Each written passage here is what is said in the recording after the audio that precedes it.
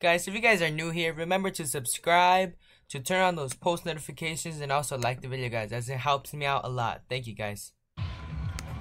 Yo, what's going on, guys? It's Mario here, aka bringing you guys a brand new video today. This is gonna be another uh, Fortnite gameplay, and um, we're gonna be talking about the gifting system as you saw in the title and the thumbnail. Um, so uh, it's been confirmed, 100% confirmed that the gifting system isn't gonna be a training system. And um, as you guys can see here, it says, here's this I guess. The official Fortnite French account tweeted in reply to someone that you can only use the gifting system to buy skins for friends. So, and also it says, it is not there so you can exchange skins with one another. So you can only gift item stores or gift item store skins when they are in the store.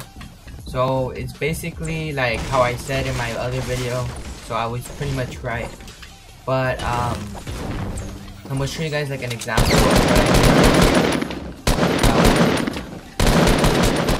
So if you guys see this image right here, so here at the top it shows uh, the gold trooper as you guys can see and you can purchase it or you can send it as a gift. So that's pretty much the example that I'm gonna give you guys for the gifting system.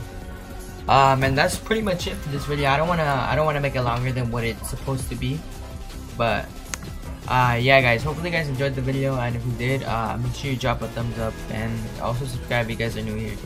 And um, yeah, pretty much it, guys.